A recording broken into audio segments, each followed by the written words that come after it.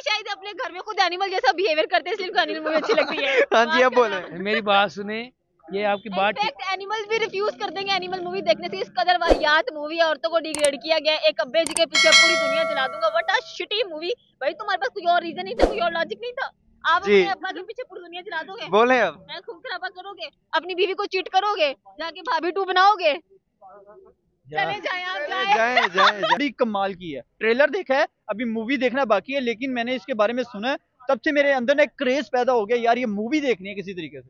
अच्छा असलम वालेकुम guys guys Atif Qureshi here you are on my YouTube channel A K public reactions तो guys आज की इस वीडियो के अंदर मैं कंपैरिजन करने जा रहा हूँ सालार वर्सेस डंकी डंकी अगर हम बात करें तो बॉलीवुड के किंग शाहरुख खान की मूवी है। सलार हम अगर बात करें तो साउथ इंडिया के सुपरस्टार प्रभास की मूवी है। पाकिस्तानी यूट्यूबर्स के पास आज जाने वाला हूँ और पाकिस्तानी यूट्यूबर्स से मैं कंपैरिजन करूँगा कि कौन सी मूवी ज़्यादा कमाई करेगी कौन सी मूवी किस मूवी का ज़्यादा रिकॉर्ड तोड़ देगी। तो देखते हैं पाकिस्तानी यूट्यूबर्स के क्या कहना होता है। आइए मेरे साथ मिलकर जानते हैं। वालेकुम। सर कैसे हैं आप? अल्हम्दुलिल्लाह। सर नाम आपका? आ, मेरा नाम शाहिद। शाहिद भाई, मैं वैसे इनका नाम पूछा, इनका नाम शाहिद है, ये यूट्यूबर है तो मैं, सर, मेरा आज आपसे बात करने का पर्पस ये है कि इंडिया की दो बड़ी बड़ी मूवियाँ जो कि बड़े बड़े एक्टर है बड़े बड़े मशहूर एक्टर है दोनों ही तो मैं आज आपसे कंपैरिजन करना चाह रहा हूँ। एक जो कि डक्की डंकी नाम है, शाहरुख खान की फ़िल्म है। दूसरी सालार जिस, जिसकी अगर हम बात करें तो प्रभास की है। तो क्या लगता है आपको कौन सी मूवी ज़्यादा कमाई करेगी? यकीनन ओबियसली अगर बात करें तो शाहरुख खान किंग है बॉलीवुड के किंग है वो फिर उसी की मूवी जो है वो हिट भी करेगी पहले दिन बल्कि उसने अच्छा खासा बिज़नेस भी किया है। उसने अगर बात करें अभी जो रिसेंटली एक मूवी गुजरी है आ, क्या उसका नाम है? आ, कुछ जे पता नहीं उसका नाम मैं भूल गया हूँ। अलबत् उसी रिसेंटली अभी एक बड़ी मूवी का उसने रिकॉर्ड तोड़ दिया है ये शाहरुख खान की इस साल की तीसरी बड़ी मूवी है। और मैं कहता हूँ कि यार ज़बरदस्त है। देखने को एक डंकी मूवी का नाम और डंकी से मुरा इलीगल जाने का जो एक तरीकाकार है, उसके बारे में ये मूवी बनी है और बड़ी कमाल की है। ट्रेलर देखा है, अभी मूवी देखना बाकी है, लेकिन मैंने इसके बारे में सुना है, तब से मेरे अंदर ना एक क्रेज पैदा हो गया यार, ये मूवी देखनी है किसी तरीके से। अच्छा सर, अगर केजीएफ की बात करें केजीएफ जिधर से खत्म हुई थी, उधर से स्लार स्टार्ट होने जा रही है, ऐसा हमें देखने को कुछ मिलेगा? तो क्या लगता है आपको केजीएफ जैसा रोल मिलेगा इसको? जिस तरह से केजीएफ ने बिज़नेस किया था, ये यकीनन ये उस तरह बिज़नेस नहीं कर पाएगी। उसकी वजह ये है कि क्योंकि डंकी ने जितना बिज़नेस डंकी करेगी मेरे ख्याल से वो सलार नहीं कर पाएगी। हाँ अलबत्ता जहाँ पे वो बिज़नेस उसका केजीएफ ने एंड किया था, वहीं से आज आप ये देखेंगे सलार ने वो जो है पार्ट टू स्टार्ट किया है। तो बड़ी ज़बरदस्त मूवी है, देखने वाले जो है वो देख रहे हैं। वो एक साउथ इंडियन है, लेकिन अगर दोनों के कंपैरिजन की बात करें, मुकाबले की बात करें तो यकीन करें, इंडिया की जो बॉलीवुड की मूवी है, डंकी, वो बिज़नेस ज़्यादा करेगी और वो ज़्यादा, उसका जो एक्टर है, वो तो शाहरुख खान है और वो एक फ़ेमस सेलिब्रिटी है और आपको पता है, वैसे तो वो भी प्रवाद जो है, वो भी एक सेलिब्रिटी है, लेकिन वो साउथ इंडियन में है, लेकिन बॉलीवुड के जो बड़े किंग है, वो तो फिर शाहरुख खान ही है ना। अच्छा तो सर, क्या आपको ये लगता है कि शाहरुख खान अपने रिकॉर्ड ही खुद तोड़ेंगे?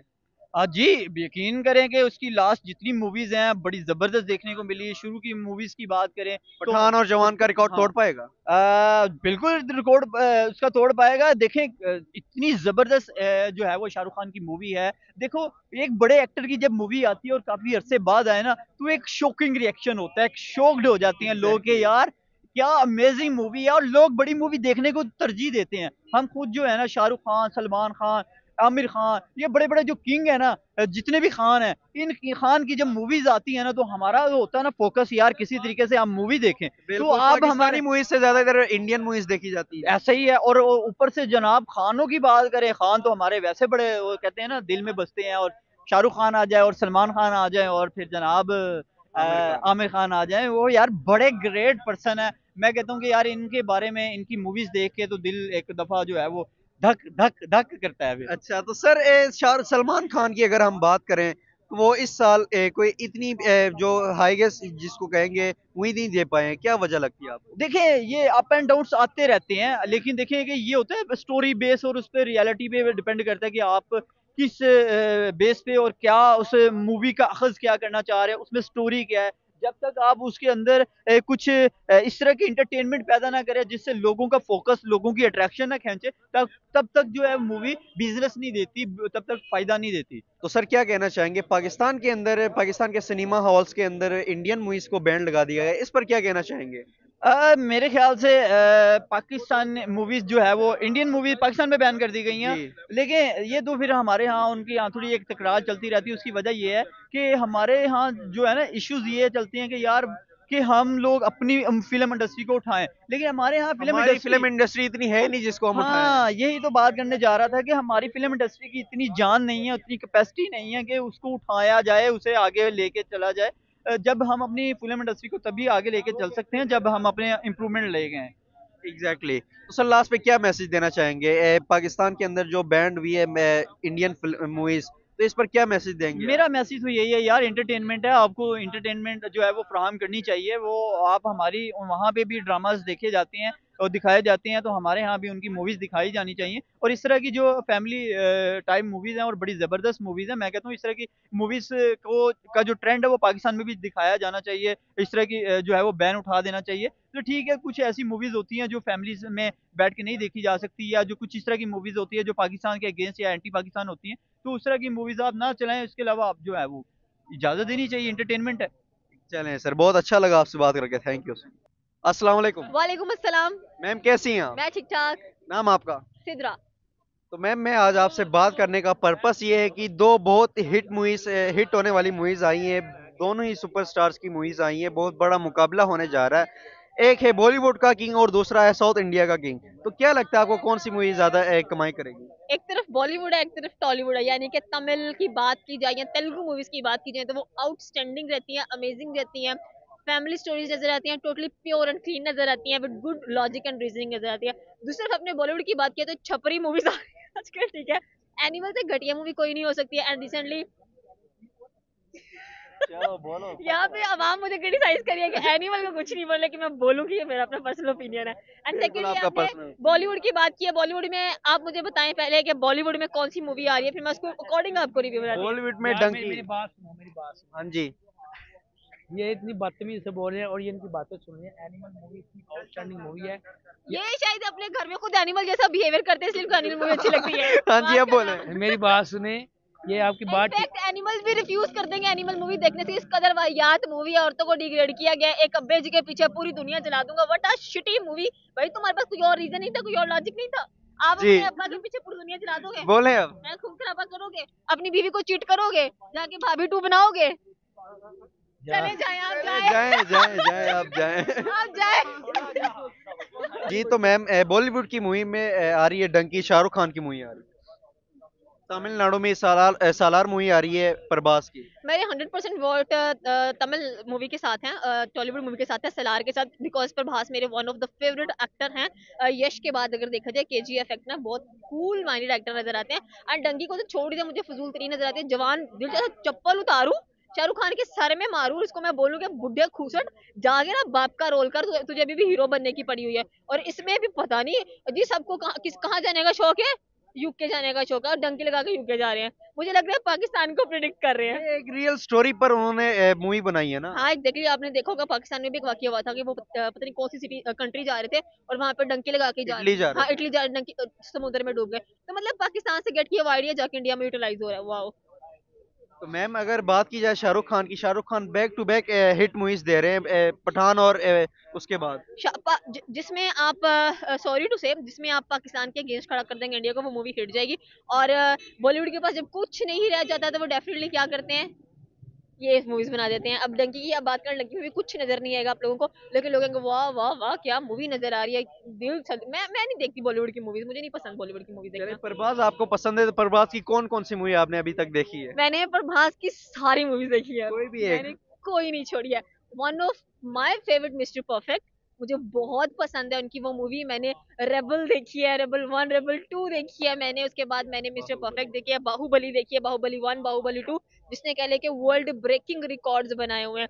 उसके बाद जब मैंने रिसेंटली ना मैंने सलार का ना गुजरा यूट्यूब के ऊपर मैंने कहा यार ये क्या हुआ होगा? तो मैंने देखा मैंने कहा वाह सलार आ रही है प्रभास की। मैं जाके ट्रेलर देखा ट्रेलर आउटस्टैंडिंग था मज़ा आया देखकर। और दिल किया कि यार ये मूवी जल्दी से जल्दी पाकिस्तान में भी अगर रिलीज़ होती है तो मैं डेफिनेटली सिनेमा में देखने जाऊँगी। Because Prabhas worth watching actor है पर- इस पर आप क्या कहेंगी? पाकिस्तान के अंदर इंडियन मूवीज़ बैन है। पाकिस्तान के अंदर डेफिनेटली इंडियन मूवीज़ बैन नज़र आती है। पाकिस्तान में क्या नहीं बैन इंडिया का? हर चीज़ ही बैन नज़र आती है ये कोई नई बात नहीं है। लेकिन आई थिंक जो वर्थ वॉचिंग मूवीज़ होती हैं उनको पाकिस्तान में बैन नहीं करना चाहिए। उनको लगाना चाहिए सिनेमास के ऊपर और हमें जाकर देखना भी चाहिए। ये मैं मैं मानती हूँ मैम अगर परबाज आपका फेवरेट है तो उनका कोई डायलॉग बोल रहे प्रभास का डायलॉग बाहुबली वाला बोलूँ? बोल रहे वो कहता था क्या हुआ था देवसेना। वो फिर उसकी बीवी उसको सारी डिटेल बताती है तो एंड पे प्रभास कहता है गलत किया देवसेना उसका उंगलियाँ नहीं काटनी चाहिए थी काटना चाहिए था गला उसका गला काट दिया था यार। चले मैम बहुत अच्छा लगा आपसे बात करके थैंक यू सो मच अस्सलाम वालेकुम। वालेकुम सलाम। सर कैसे हैं आप? ठीक। क्या करते हैं? यार आप कितना छोटा चैनल बना के बैठा हूँ।